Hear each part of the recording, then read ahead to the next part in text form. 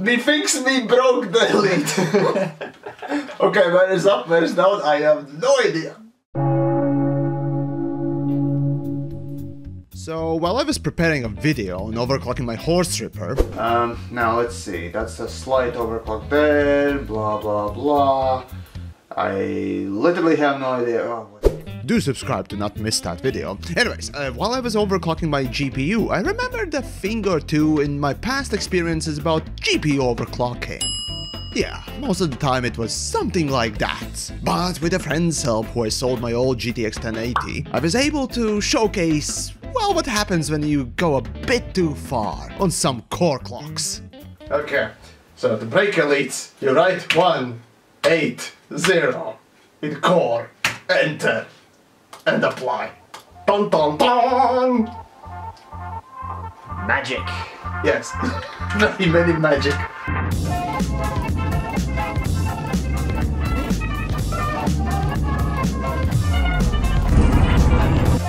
Okay, is up, is down? I have no idea.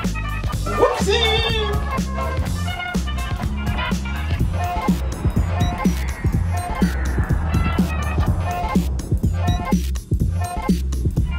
Okay, now flashlight. What? What? Okay, take it, take it out. wow, uh, that was quick. nice.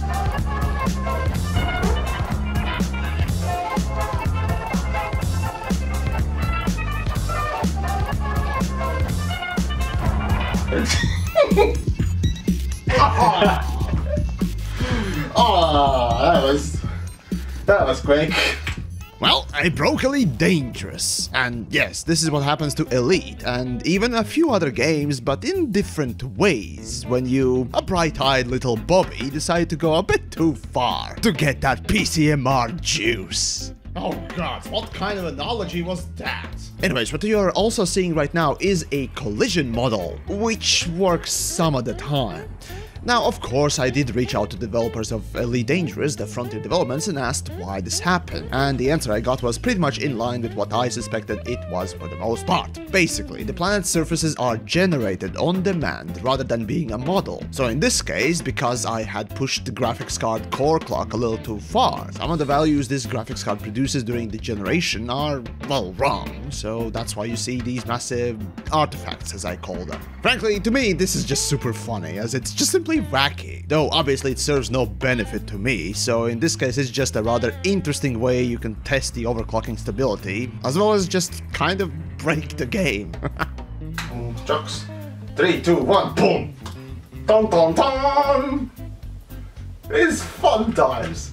Oh, and this artifacting is only in GTX 10 series cards as far as I'm aware. Uh, I tried this on my old Radeon HD 6970 and all I got was this. And on my current Horse Ripper build with an RTX 2080 Ti, I didn't get squat, it just goes blank when pushed too far. Yet while playing Ori and the Blind Forest, I got these artifacts on my 2080 Ti, so yeah, GPU artifacts are pretty interesting. So there you have it. Hopefully this was informative and interesting. So share the video and uh, as I mentioned, I'm making a complete overclocking video for my main PC, so do subscribe and hit that bell thingamajig for that video.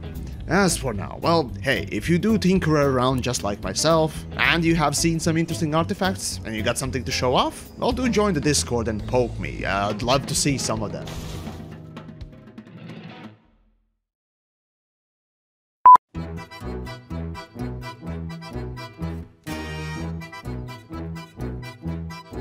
Tagad, kad mēs kamēr gaidām šo instrumentu, tā, nu rādās, rādās. Tā, čoks, čoks.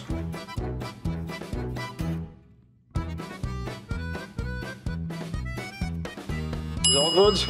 Is all fucking good? Yeah, voila, folks. Aha. Oh, oh, oh, oh, oh. There we go. okay. Um. The dark, the darkness is coming for you, buddy. That's it. No. The game hates you.